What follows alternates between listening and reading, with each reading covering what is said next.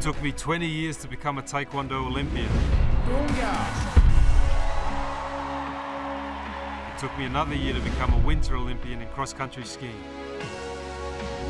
A remarkable achievement for Pita Taufatofua. Now for Tokyo 2020,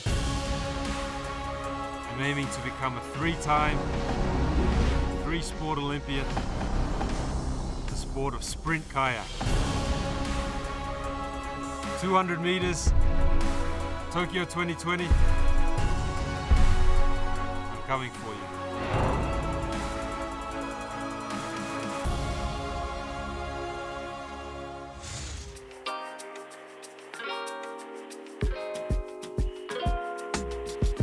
Guys, check this out. This is Tongan cultural gear. This is called a tapa cloth. It's made from a bark that's beaten down. And this is very similar to what I wore at the, at the Rio Olympic Games.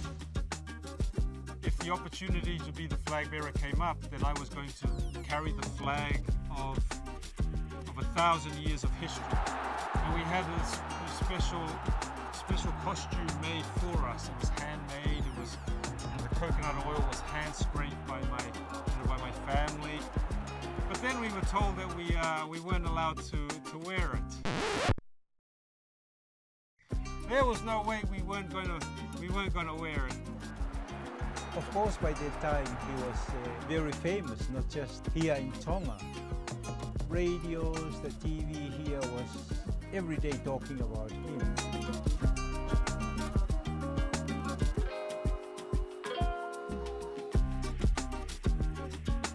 I had never been exposed to that sort of stuff, so if it affected me subconsciously, you know, perhaps on the day I fell short.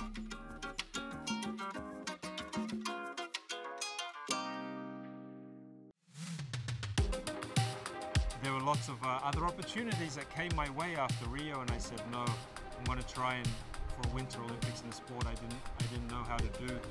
I lost many things. I lost you know, relationships. I lost opportunities. I lost money. But this is the price we have to pay to become an Olympian. Made it.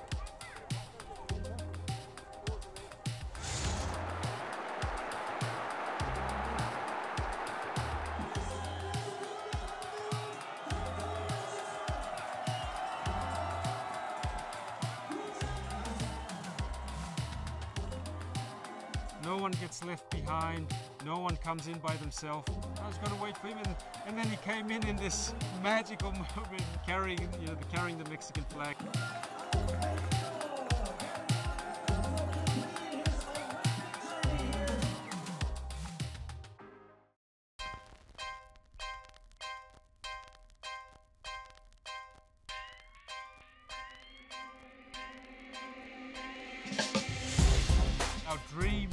Now is to be the first person in the modern era to represent three unrelated sports at an Olympic Games and, and in successive games.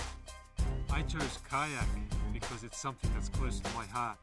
It's something that Polynesians have done for a thousand years. Being out in nature is something that's so important to me. The ocean provides so much for our planet, not just for Tonga. Protecting the environment, you know, plastics, uh, single-use plastics, climate change. It's it's a big it's a big deal for me. I think people are very scared to chase after dreams and goals. They're scared of what mummy's going to say, what daddy's going to say, what the person on the internet who they've never met is going to say.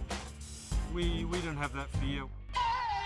Stay tuned. There's a third Olympics coming, and someone's going to be riding a, riding a kayak in Tokyo.